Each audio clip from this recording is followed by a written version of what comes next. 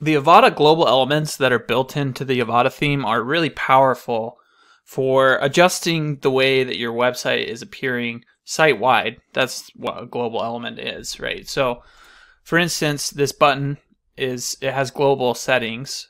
And so I'm going to show you how to change. Well, first of all, I'm going to show you where to find the Avada global elements and then how to change like the button and the column global uh, settings. So when you're logged into your WordPress website running the Avada theme, you should see this drop down at the top and you can click global options. So I'm just going to open that up in a new tab so that we can go back and forth and see how this all shapes out.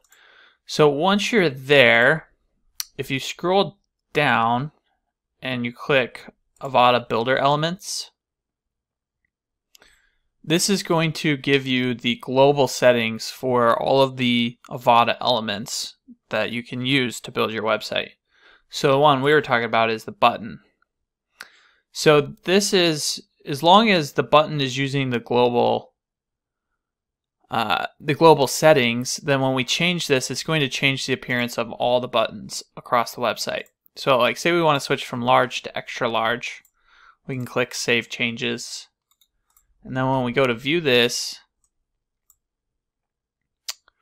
you'll notice that the button here is way bigger now. And that's going to be the same for all of the buttons across the website. So the nice thing about these global elements is that once you've used them in the pages that you've built, you can adjust all of them at once using these global elements. So another common one is like padding between uh, these columns.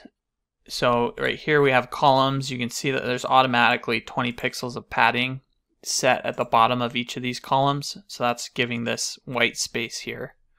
So we could increase that. We could add padding at the top. We can also adjust the, the column spacing. So between these two columns right here, there's uh, padding. It's 4% right now. We could adjust that to 8% or whatever you want. And same thing with containers. And you just go down the list. It's basically every element that you can use in Avada has these global options. So dive in, take a look around. If there's anything in here that you have questions about, you're unsure about, don't hesitate to reach out. You can just drop your questions in the comments section below. I'll be sure to get back to them there. And until next time, take care.